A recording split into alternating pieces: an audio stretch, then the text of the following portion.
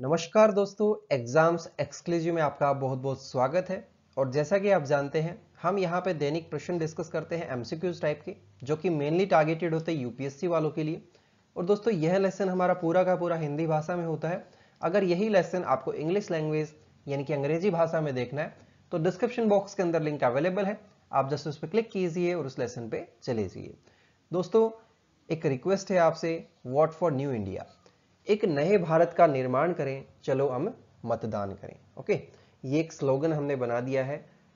सो so, vote करना है और वोट करना अति आवश्यक है। ये आपका अधिकार भी है और जिम्मेवारी भी है। ठीक है?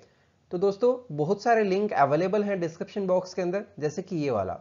इसके द्वारा आप इस लेसन की पीडीएफ डाउनलोड कर सकते हैं। तो दोस्तों मैं हूँ धीरज शर्मा। तो चलिए आज का लेसन शुरू करते हैं। दोस्तों जैसा कि आप जानते हैं आज है 8 मई 2019 और जैसा कि मैंने आपको कहा, यह पाठ अंग्रेज़ी में भी उपलब्ध है और लिंक विवरण में दिया गया है। Friends this lesson available in English also and link given in description box तो चलिए आज का पहला प्रश्न शुरू करते हैं। दोस्तों, ये रहा आज का पहला प्रश्न। हाल ही में किस उच्च न्यायालय ने ज़ीरो पेंडेंसी नामक पायलट प्रोजेक्ट आरंभ किया है? देखिए, अपने पास यहाँ पे चार ऑप्शन है। पहला है लखनऊ उच्च न्यायालय, दूसरा चंडीगढ़ उच्च न्यायालय तीसरा, दिल्ली उच्च न्यायालय और चौथा, मुंबई उच्च न्यायालय। यानी कि हाई कोर्ट की यहाँ पे बात हो रही है। तो सही उत्तर कौन सा है? दिल्ली हाई कोर्ट, यानी कि दिल्ली उच्च न्यायालय। ऑप्शन सी हमारा यहाँ पे बिल्कुल सही है। तो चलिए इसकी व्याख्या देखते हैं। दोस्तों, ये है इसकी व्याख्या। देखिए, zero pendency courts project Delhi उच्च न्यायालय का एक पायलट प्रोजेक्ट है, जिसका क्रियान्वयन दिल्ली के विभिन्न अधीनस्थ न्यायालयों में किया जा रहा है। इसके द्वारा विभिन्न प्रकार के मामलों के लिए समय सीमा तथा न्यायाधीशों की संख्या निश्चित करने में सहायता मिलेगी। इसीलिए हमने इसको क्या बोला है? पायलट प्रोजेक्ट हमने नहीं न्यूज़पेपर ने बोला, ठीक है? और उम्मीद है कि इस प्रश्न से संबंधित कोई डाउट नहीं होगा, कोई शंका नहीं होगी। अगर है तो कमेंट्स के द्वारा आप पूछ सकते हैं या फिर डायरेक्ट मैसेज कर सकते हैं मेरे फेसबुक के पेज पे। तो चलिए, अगले प्रश्न को देखते हैं। प्रश्न नंबर दो। निम्नलिखित में से किस देश में जी सेवन शिखर सम्मेलन आयोजित किया जाएगा। देखिए दोस्तों, अपने पास यहाँ पे चार ऑप्शन है, ऑस्ट्रेलिया चिली भारत और फ्रांस। तो कौन से में जो ये जी सेवन शिखर सम्मेलन है, वो आयोजित किया जाएगा? ऑप्शन डी, यानी कि फ्रांस के अंदर। ठीक है? तो ऑप्शन डी हमारा यहाँ पे सही हो गया। तो चलिए इसकी व्याख्या देखते हैं। दोस्तों, ये है इसकी व्याख्या। भारत को ऑस्ट्रेलिया चिली दक्षिण अफ्रीका के साथ जी सेवन देशों के शिखर सम्मेलन के लिए आधिकारिक रूप से आमंत्रित किया गया है। जी सेवन का मतलब क्या है? Group of seven countries okay ये इसका मतलब एक एक छोटा सा हम इसको समझ सकते हैं इस प्रकार से।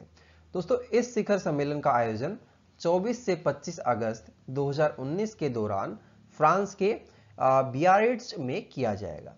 फ्रांस का एक शहर है बियारिड्स यहाँ पे किया जाएगा। इसको याद रखिए ना? हो सकता है यूपीएससी यहाँ से प्रश्न बना के पूछ ले। और कब आयोजित किया जाएगा? कौन कौन से देश इसके अंदर है? ये सारी चीज़ें आपको पता होनी चाहिए, ठीक है? और उम्मीद है कि इस प्रश्न से संबंधित कोई डाउट नहीं होगा, कोई शंका नहीं होगी।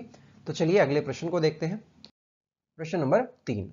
हाल ही में किस भारतीय राजनेता ने अमेरिकी राष्ट्रपति डोनाल्ड ट्रंप को पछाड़ते हुए विश्व में दूसरे सबसे अधिक ट्विटर फॉलोअर बनाने का रिकॉर्ड कायम किया है? पहला है सुषमा स्वराज, नहीं। दूसरा राहुल गांधी नहीं, तीसरा अमित शाह बिल्कुल नहीं, और ऑप्शन डी बिल्कुल सही है, यानी कि नरेंद्र मोदी, जो हमारे प्रधानमंत्री हैं। ठीक है, इसकी जो व्याख्या है वो देखते हैं। दोस्तों, ये है इसकी व्याख्या। अब जो आंकड़े हैं, वो जान लेते हैं। प्रधानमंत्री Narendra Modi, social networking website Facebook पर अमेरिका के राष्ट्रपति डोनाल्ड ट्रंप और ब्राज़ील के नए राष्ट्रपति जायर बोल्सोनारो को पछाड़ते हुए सबसे आगे निकल गए हैं। फेसबुक पर जो हमारे प्रधानमंत्री जी हैं, उनके करीब करीब चार पॉइंट पैंतीस करोड़ लाइक्स तो आधिकारिक पेज पर एक दशमलव सैंतीस करोड़ लाइक्स मिले हैं, ठीक है? अमेरिका के राष्ट्रपति डोनाल्ड ट्रंप के पास दो दशमलव तीन करोड़ लाइक्स के साथ जहाँ दूसरे स्थान पर हैं, ठीक है? तो ये सारे आंकड़े थे, और ये मतलब हो सकता है यूपीएससी कहीं से पूछ ले। ज़रूरी नहीं कि पूछे ही पूछेगा। इसको मतलब घुमा फिरा के कहीं से पूछ सकता है ना? इसीलिए ये प्रश्न यहाँ पे रखा गया है। तो चलिए अगले प्रश्न को देखते हैं। प्रश्न नंबर चार।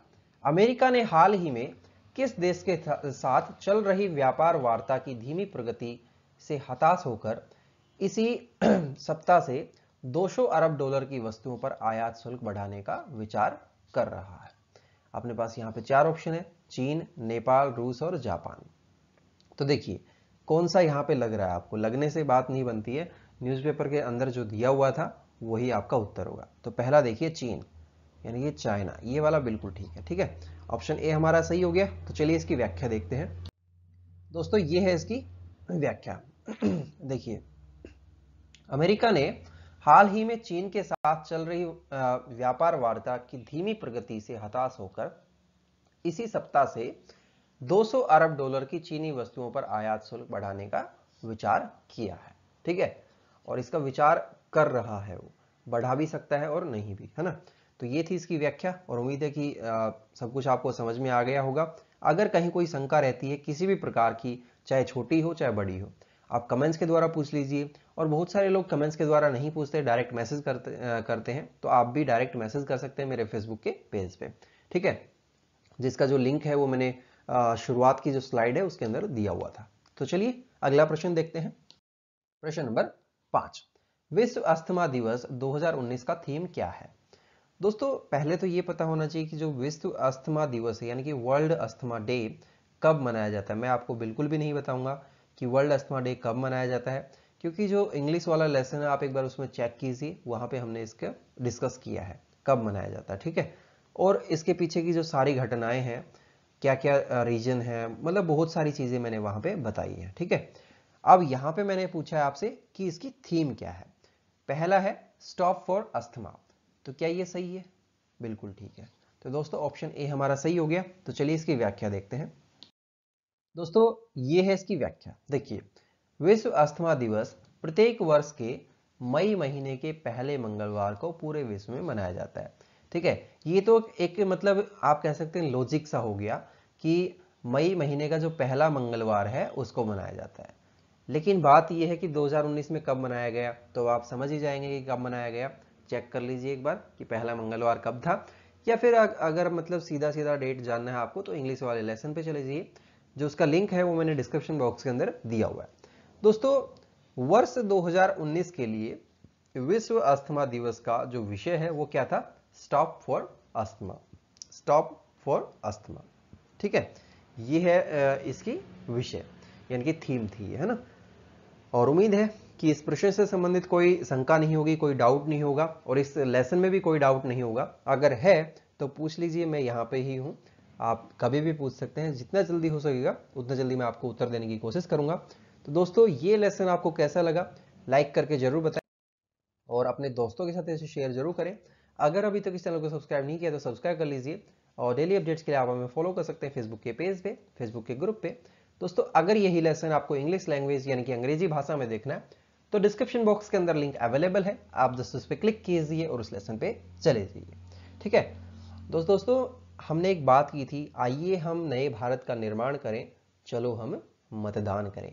सो so, मैं कहूँगा what for new India only okay और इस लेसन को पूरा पूरा देखने के लिए आपका फिर से एक बार बहुत बहुत धन्यवाद।